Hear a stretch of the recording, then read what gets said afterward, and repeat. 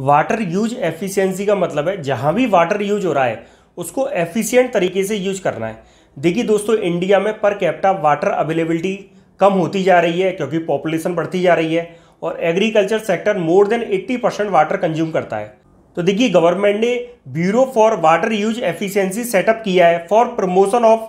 efficient use of water in irrigation drinking water supply and industry sector इसके अलावा देखिए government 2015-16 से प्रधानमंत्री कृषि सिंचाई योजना इंप्लीमेंट कर रही है, जिसके अंदर पर ड्रॉप मोर क्रॉप स्कीम है। उसमें गवर्नमेंट